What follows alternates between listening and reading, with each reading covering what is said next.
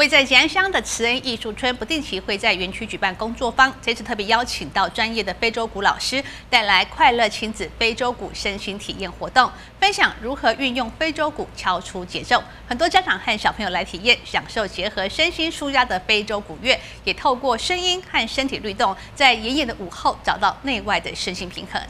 位在吉安乡的慈恩艺术村近日在园区举办了快乐亲子非洲鼓身心体验工作坊活动。邀请专业的非洲鼓老师分享如何运用非洲鼓敲出节奏，许多家长与小孩一起来体验，结合身心舒压的非洲鼓乐，透过声音与身体的律动，运用旋律与节奏练习，找到内外的身心平衡。我们特别邀请到彩虹螺旋非洲鼓教室的居娜老师，啊，他有很多年的这个非洲鼓的教学经验。那因为慈恩艺术村是秉持着希望可以让这个艺术走进人群的这样一个理念，所以呢，非洲鼓也是一个很棒的行为艺术。透过这样子的一个工作坊的教学呢，把这样的一个呃非洲鼓的这个这个舞蹈呢，跟跟这个节奏啊，传递给许多这个花莲在地的这些社区民众啊，还有亲子的这个互动。无需任何音乐基础，只要对敲击乐有兴趣，老师会分享敲击知识与技术，让参加者掌握简单技巧，快速学以致用。和现场亲子团队在游戏中共同敲击出有趣的旋律和曲目。